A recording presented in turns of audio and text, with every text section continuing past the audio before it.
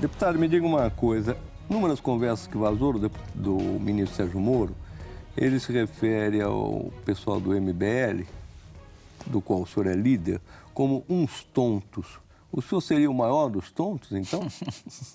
é, isso é uma bobagem, né?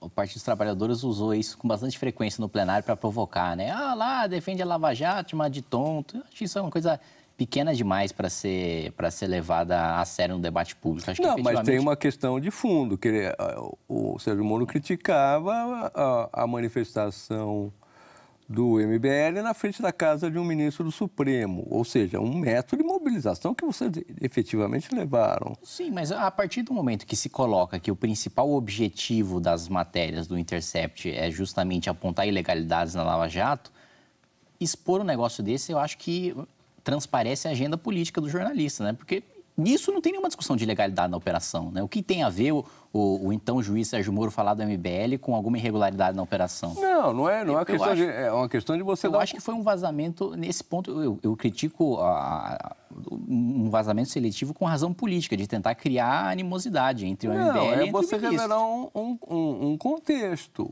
Vocês se davam bem, eles elogiou vocês, mas na, na, lá no, no entre eles, falou que vocês eram uns tontos. Assim como ele falou que o Fernando Henrique não devia ser criticado porque era um aliado em potencial. Tudo cria um, um, um contexto. O que, que, você acha desse contexto da, dessas gravações?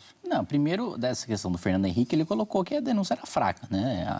Primeiro, o que ele dialogou com o procurador era de que não havia argumentos suficientes. E não deveria se criticar... não deveria, não deveria se criticar o potencial aliado. Mas é. o fato é que no mérito da, da, da ação ele Mas falou... na questão política não se deve. Ah, não, não, adianta ficar. É, é, o que ele disse. Não, é o que ele disse, mas estou falando que no mérito da ação ele falou que a denúncia era fraca. A, a crítica, a conversa iniciou porque ele falou, gente, a denúncia é fraca que, que vocês estão fazendo isso?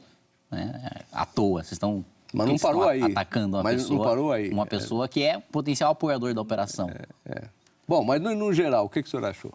No geral, o que, que eu achei? Eu acho que uh, do, do, início, né, dos primeiros vazamentos que foi colocado, era, eu não vi grandes problemas. É, eu acho que é um, é um, mostrou só como, é, como funciona estruturalmente é, o sistema do judiciário brasileiro, em que o juiz pode, de ofício, é, mandar produzir prova é, antes mesmo da, da, da, ação penal e durante a ação penal. Então, se eu te processo com, com uma ação penal privada e falo, olha, eu produzi essa prova aqui e eu acho que essa prova é suficiente para condenar o Mário o juiz pode falar: não, é, eu acho que essa prova só não é suficiente. Eu quero que faça uma perícia sobre a sua prova e que você chame testemunhas e eu vou chamar todo mundo aqui e vou produzir essas provas aqui contra o Mário.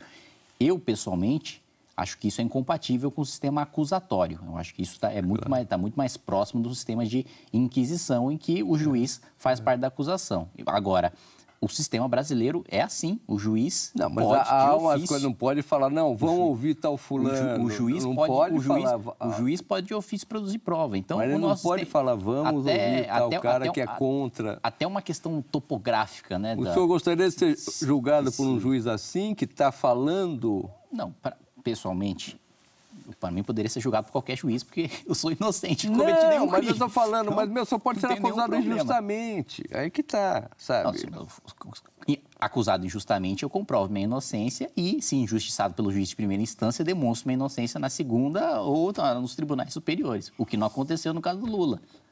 Eu, eu acho que essa que é a forçação de barra, né? Tentar colocar como se, em razão das conversas, o ex-presidente fosse inocente o que não é verdade. Pessoal, já tá vendo a pré-estreia do filme do Movimento Brasil Livre, que a gente tem imagens exclusivas dos bastidores do MBL, você vai conhecer cada um que tá aí dentro do Movimento Brasil Livre, quem tá na frente, quem tá por trás, quem tá do lado, quem tá na diagonal, e também do impeachment, todas as reuniões, Michel Temer, Eduardo Cunha, é, todos os atores envolvidos, você vai saber exatamente o que aconteceu. Compra aí, não vai ter golpe.com.br.